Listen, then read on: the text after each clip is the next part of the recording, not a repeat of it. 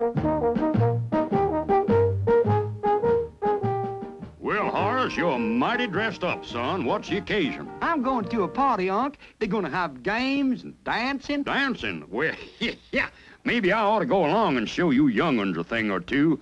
Old Hotfoot Hunter, they used to call me. Wonder if I still got the touch. Whoa, you know, you kid. Move your do to the old 23 skidoo.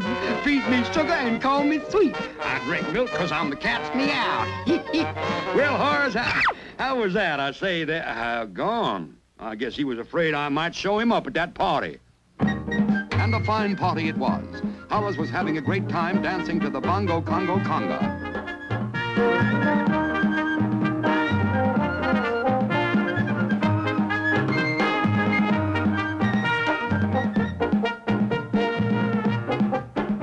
Yes, everyone was having fun until... What happened? Who stopped the music? The record's gone. Someone stole all our records. Dance parties were halted in mid-step. And at police headquarters, Officer Flim Flanagan had this to say. Ah, sure, and this must be the work of the fox. I'm calling the hunter. Hello, hello, Hunter here. Have nose will hunt. Prices start at, uh, at the, uh, um, oh, it's you, Flanagan. What's that? All the records stolen? Well, this case must really have you going around in circles. yeah, yeah, that's a joke, son. I say to you that if I, oh, I'm sorry, Flim. I'll get right on it.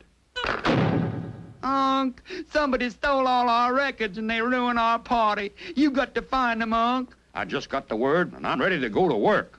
Right in this safe here, I got just the thing that'll catch that wily fox. What is it, Unc? These two fine old records by the golden voice of Rudy Vallee. What good will that do, Unc? What good? Why, if the fox is stealing records, then he's sure to try and steal these, and we'll catch him in the act.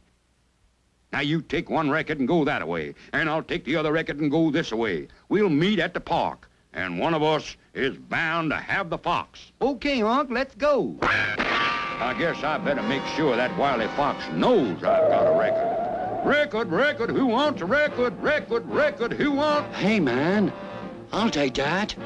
It looks like a swinger. All right, you wily fox, come along with me. Fox? What's the matter with you, Dad? Don't try to pretend I'm your father. I can see right through your disguise. Meanwhile, the hunter's nephew, Horace, knowing just how his uncle operated, was trying his hand at trapping the fox. Record, record, who wants the record? Record. Hey, Hotshot, I'll take that. It looks like a swinger. All right, you wily fox, you come along with me. And so it was that a short while later in the park, I got him, Unc. I caught the fox. You got him.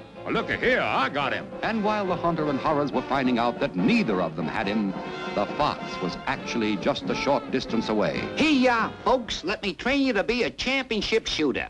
All you do is toss up this disc, you fire the gun, and here comes the disc with a perfect hole in the middle.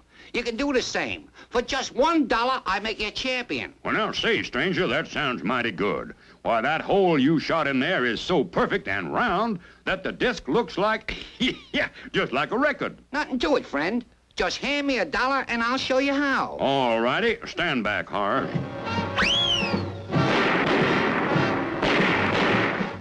Yeah! Look out, you dunce! You're wrecking the place!